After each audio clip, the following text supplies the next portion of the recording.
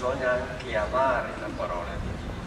E sappiamo che l'amore è la via che approfondisce la conoscenza. La conoscenza della parola di Dio non è una conoscenza puramente teorica, intellettuale, anche un ateo, uno che non crede in Dio può conoscere la Bibbia e me la può spiegare e ce la può spiegare molto bene, ma non la ama e non dà frutto della fede.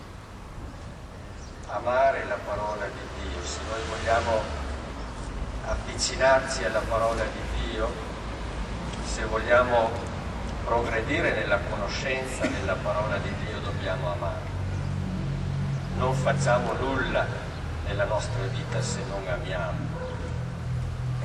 Quando facciamo le cose o qualcosa per dovere, questo si tra questa cosa o questa azione si trasforma in un peso e qualche volta diventa anche insopportabile. E allora amare la parola di Dio significa che noi poco a poco impariamo a conoscere il cuore di Dio nelle sue parole, frequentando le sue parole, contenute nei Vangeli, nelle lettere apostoliche, nel, nell'Antico Testamento. Poco a poco impariamo a conoscere il cuore di Dio, a entrare in sintonia, in sintonia con Lui. Quindi conoscere la parola di Dio, amare la parola di Dio e vivere la parola di Dio, perché a nulla serve conoscerla, a nulla serve amarla se poi non si trasforma in vita, se non ci fa vivere, se non ci aiuta a vivere. E allora vedete, la Bibbia finché resta uno scaffale nella nostra casa resta un libro morto,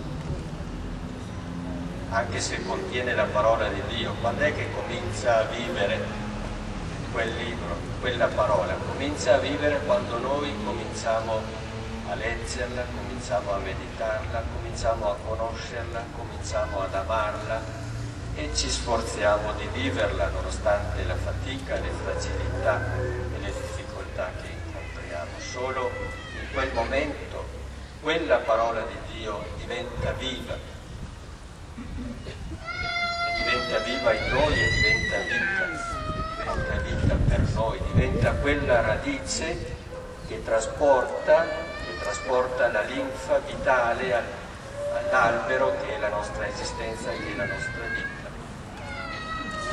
Ci permette di mettere i fiori e di dare frutti, frutti, quei frutti che sono i pensieri di Dio, sono i sentimenti di Dio, che è la volontà, che è la volontà del Signore. E allora, per concludere, possiamo mettere nel nostro cuore questa domanda. Abbiamo fame noi della parola di Dio? Sentiamo questa fame dentro di noi? Oppure l'ascolto della parola di Dio anche quando veniamo in chiesa diventa un peso, un dovere. Ma adesso ho compiuto il mio dovere e sono a posto e con la comunità. E quanto, e quanto mi importa poi assaziare questa fame?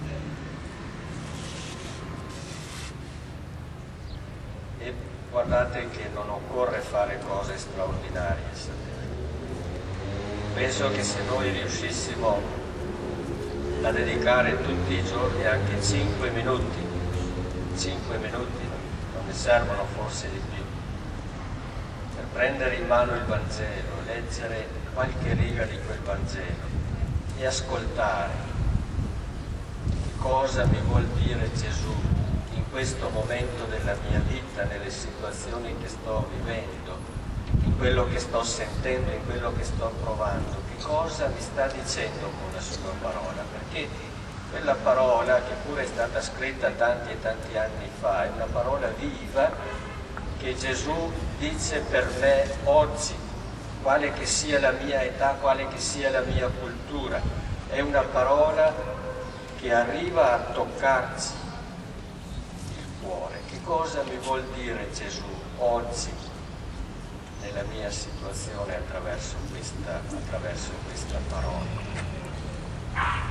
Se riuscissimo tutti i giorni cinque, dedicare 5 minuti a questo incontro con la parola di Dio poco a poco, come Maria, anche noi diventeremo, diventeremo familiari della parola di Dio. Quella parola diventerebbe e potrebbe diventare la nostra casa dove ci troviamo bene, dove viviamo bene, ci sentiamo come amati, come accolti, orientati nella nostra, nella nostra vita.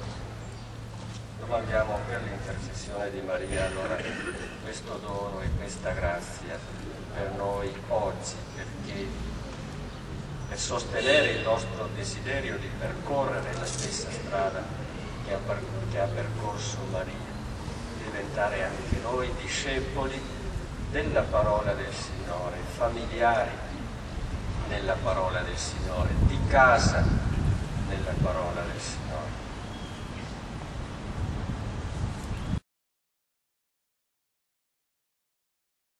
È veramente santo, fonte di ogni santità. Santifica questi doni con l'effusione del tuo Spirito perché diventino per noi il corpo e il sangue di Gesù Cristo, nostro Signore. Egli, offrendosi liberamente alla sua passione, prese il pane e rese grazie, lo spezzò, lo diede ai suoi discepoli e disse, prendete e mangiatene tutti. Questo è il mio corpo offerto in sacrificio per voi.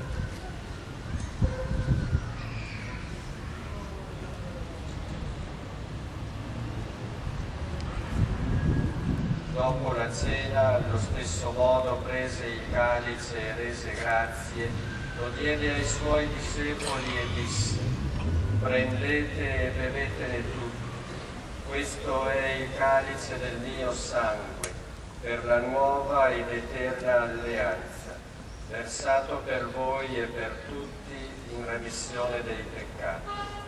Fate questo in memoria di me.